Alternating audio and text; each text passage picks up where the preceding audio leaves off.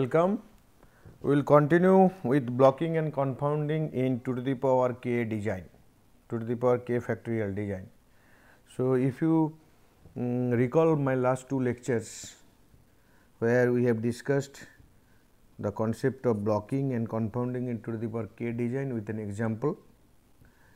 So, finally, I have shown you that 2 to the power 3 I think 4 minus 1 uh, that design. So, I have this minus 1 for blocks. So, I have shown I have shown you a case where 4 factors 4 factors 2 to the power 4 16 treatment combination treatment combinations and we have shown you that we use two blocks two blocks. So, that is why per that is why that design was basically per block half 2 to the power 4 equal to the 4 minus 1 to the power 3 experimental run per block experimental runs per block. Okay. And and with single replication um, a, a case with one block and with two blocks the results were shown and the with probability probability plot it was demonstrated that what are the factors that are significant and how you will come uh, compute the errors and all those things. Okay. Experiment uh, the or the example was given in such a manner that you know previously what is the block effect and then the how the block is confounded with higher order interactions. And from there we have shown with block and without block uh, the higher effect of higher estimate of the higher order effect like in this case ABCD and it is shown that shown that actually in such such design situation it uh, they are they are confounded and that that confounding effect is clearly visible that is what we have shown. Now, we will continue with this, but instead of two blocks if we go for 2 to the power p blocks what will happen. So, 2 to the power k design 2 to the power with 2 to the power p blocks. So, your if you use two blocks then your p equal to 1. If you use 4 blocks your p equal to 2. So, that means the observation per block per block is 2 to the power k minus p. Okay. So, that means observation per block here in p equal to 1 it is 2 to the power k minus 1 or 1 half of 2 to the power k here 1 fourth of 2 to the power k. Okay. So, this is what is the things we have um, discuss so far. Particularly, I have I have talked to you about this much p equal to 2. Now, when you have more number of factors, suppose let there are 5 factors a, b, c, d and e. Even each with at two levels, what you require? You have 2 to the power 5 equal to 32 treatment combinations.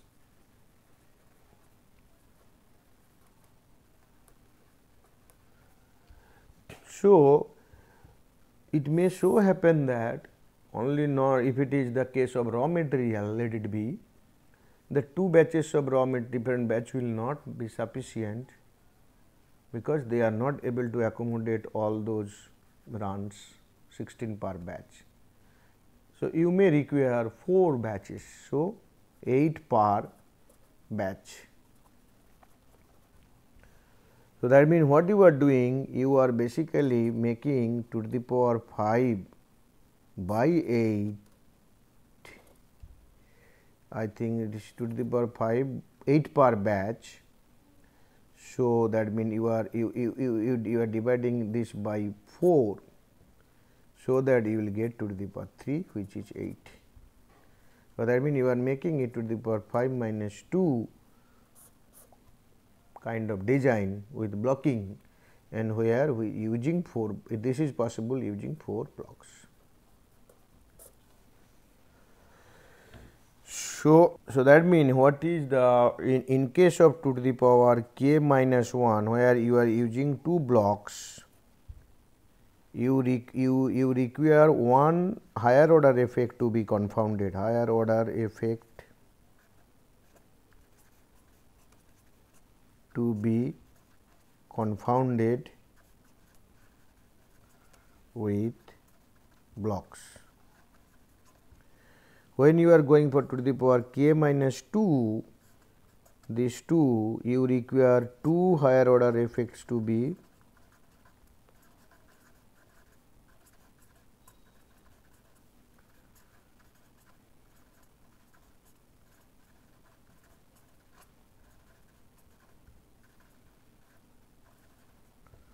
2 higher order effects will be confounded. Okay. So, that means in order to assign which of the treatment combination to be assigned to which of the blocks as you have seen earlier that you require to know which effects to be confounded. In one uh, in two to the in two blocks case we say the highest order interaction that to be confounded. Then what will happen to, to the in this case? In two higher order effective there may be highest and then next lowest one that there will be several combinations. So, you can choose any one of them or depending on your that uh, domain knowledge you may find out that some of the higher order interactions may not be a highest order, but they have least significance. So, in that case you choose any two of them, but you have to choose two. When one higher order effect is confounded, you have one defining release contrast L when you have two higher order effects to be confounded, you have two defining contrast, contrast maybe L 1 and L 2. So, in this lecture first I will show you how the 4 blocks case will be constructed. Okay. So, let me read out. It is possible to construct 2 to the power k factorial designs confounded in 4 blocks of 2 to the power k minus 2 observations each. These designs are particularly useful in situations where the number of factors is moderately large and block sizes are relatively small. Situation is you have more number of factors, but your resource is less in amount like raw materials per batch can accommodate less number of runs or less number of experimental runs can be completed. For example, consider to the power 5 design with 8 runs in each block and 2 effects ADE and BCE confounded with blocks which have two defining contrast L 1 and L 2. Okay. So, let me explain. Now, so we have A, B, C, D and E that is 5 factors.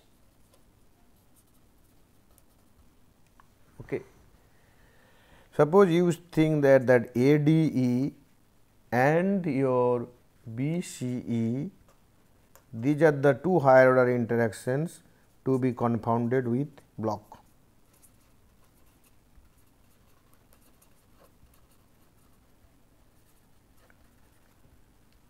So, how many defining relation? Suppose for ADE it is L 1 and for BCE it is L 2, two defining relations.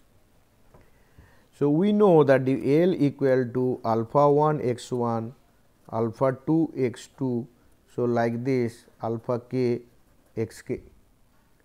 In this case k equal to 5. So, this will be alpha 1 x 1, alpha 2 x 2, alpha 3 x 3, alpha 4 x 4 plus alpha 5 x 5. Now, then what is L 1? In L 1, in L 1 our defining uh, that uh, factors to be confounded is this.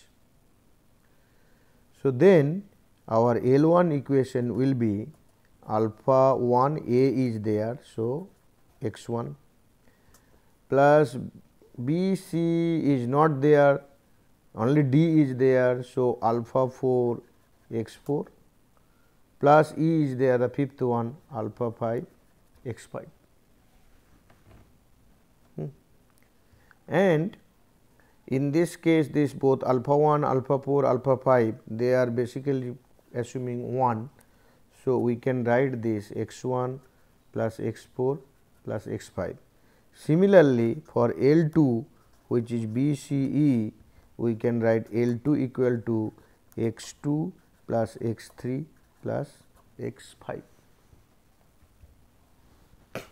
Okay. So, now what you require? You require to assign blocks. What way the blocks will be assigned? So, now for for L 1 also suppose how many effects are there here 2 to the power 2 to the power 5 design. So, that means 32 effects starting from 1 A, P, A B that sense A, B, C, D, E. So many treatment combinations and so many effects. Okay. So, how do you assign these many treatment combination to the 4 blocks? We have seen earlier that whatever L value you got, we basically converted into suppose let it be uh, M mod 2 kind of things and then we found out that this one will take 0 or 1 value and accordingly one block will be assigned to all treatment combination where this value is 0 and another treatment another another another all other will be to this. So, now so that means for a for the two defining contrast will give us 2 cross 2 4 different combinations for the treatments to be assigned to blocks. Means if I consider L 1 this 0 and 1 and L 2 also 0 and 1. So, then what is happening here you see you are getting a situation situation like this where this is L 2. So, L 1 0 L 2 0 L 1 equal to 0 L 2 equal to 1 L 1 equal to 1 and L 2 equal to 0, L 1 equal to 1, L 2 equal to 1. So, that means our assignment uh, 4 blocks. So, block 1 it will be L 1 0 and L 2 0 those many things will go to block 1. Now, block 2 will be L 1 equal to 1 and L 2 equal to 0 block 3 L 1 equal to 0, L 2 equal to 1 and block 4 let it be both 1, 1 and 1.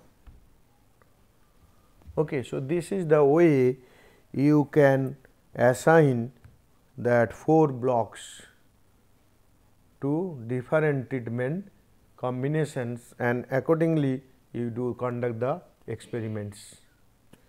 So, using this concept what you are getting you see that block 1 is assigned to 1, 2, 3, 4 plus 4 8 treatment combination they are different than block 2, different than block 3, different than block 4. So, as I told you that there will be 32 treatment combination and all those treatment combinations are assigned in this manner. So, this is this is what is the generalization of the case. So, you can you can even you can go for 2 to the power 6 minus 3 also. So, in that case 2 to the power 8 different blocks will be used and you require basically in that case basically 3 different defining contrast and and accordingly you proceed and first you assign uh, the treatment combinations for blocks and conduct experiment get the data and use the analysis the way we have explained earlier. Okay. So, the generalization is now confounding the 2 to the power k factorial design in 2 to the power p blocks. So, construction of a 2 to the power k factorial design confounded into the power p blocks where each block contain exactly 2 to the power k minus p runs. We select p independent effects to be confounded whereby independent we mean that no effect chosen is the generalized interaction of the others. The block may be generated by use of p defining contrast because the it is a 2 to the power into to the power p blocks per so, L 1 to L p associated with these effects. In addition, exactly 2 to the power p minus p minus 1 other effects will be confounded with blocks. These being the generalized interactions of these p independent uh, effects initially chosen. Okay. So, now see that what we are what we mean uh, by to the, the to the power p minus p minus 1 other effects which are actually confounded uh, confounded. These are these are these are the case.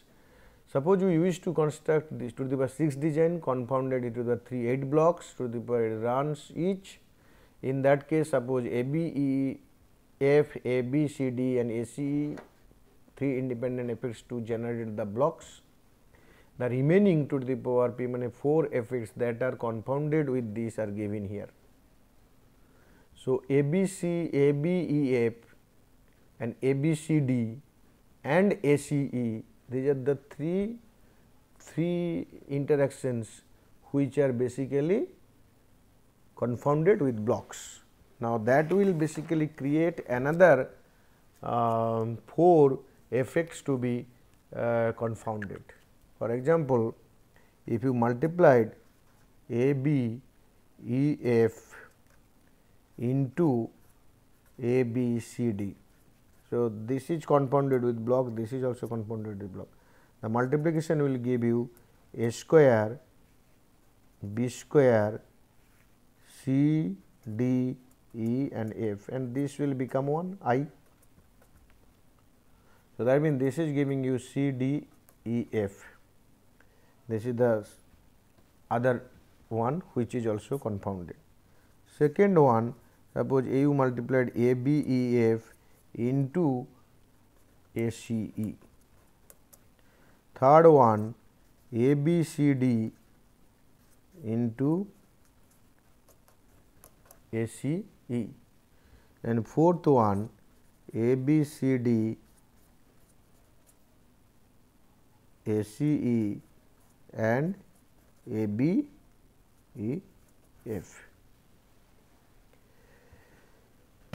So, all those things suppose this will give you BCF, this will give you BDE and this will give you ADF. So, these are the other four factors effects not factors these are other four effects which are confounded confounded with blocks not only ABEF, ABCD or ACE this general structure will give you another to the power p minus p minus 1. So, here p is 3. So, 2 to the power 3 minus 3 minus 1. So, that means 4. So, 1 2 3 4 other effects. Not only the 3 p equal to 3. So, 3 plus 4 7 uh, different uh, higher order effects interaction effects they are confounded with blocks. What does it mean? Those effects cannot be estimated uniquely. Okay. So, this is the general things please keep in mind. now a table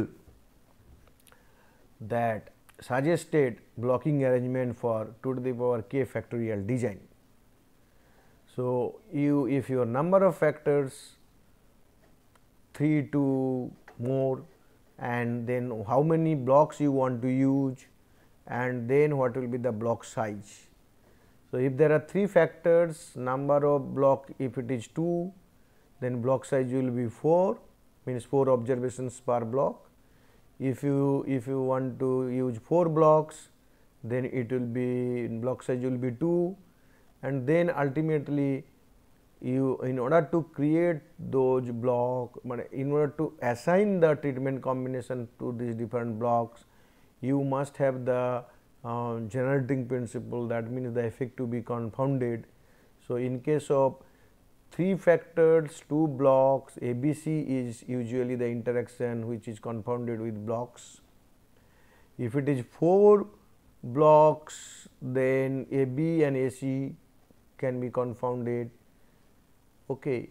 and 4 blocks uh, you can choose ABCD 4 factors 2 blocks you can choose ABCD to uh, generate blocks in the same way because there are these are these, these are, these are the some examples given to you that what are the what way you can do.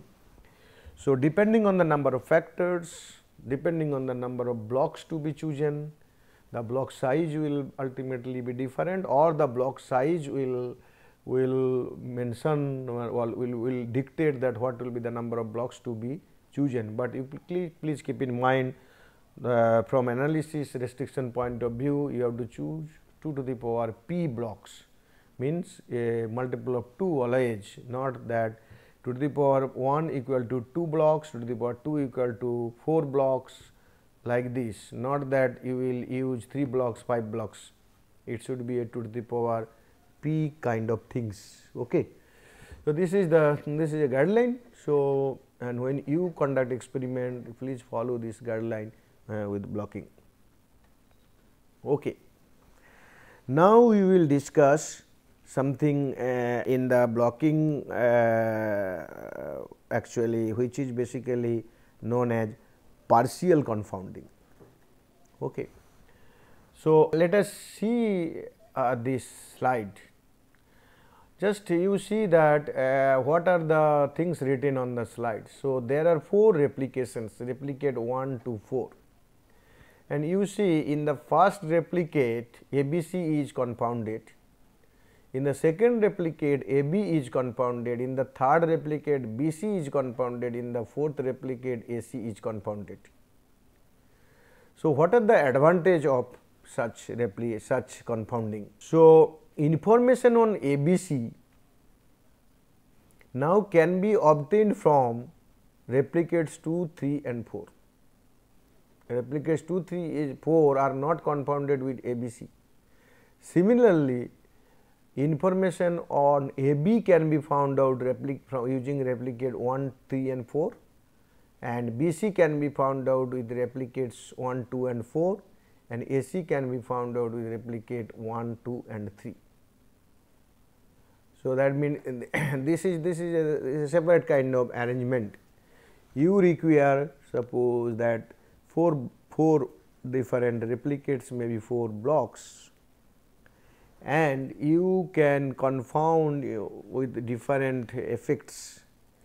So, as a result you have partial information for uh, for the for though the effects that are already confounded with some of the replicates. So, what happened in this case you see that 3 quarter information can be obtained on the interaction because they are unconfounded in, in only 3 replicates. This type of design is called partially confounded design. Okay. Now, let us see one example here.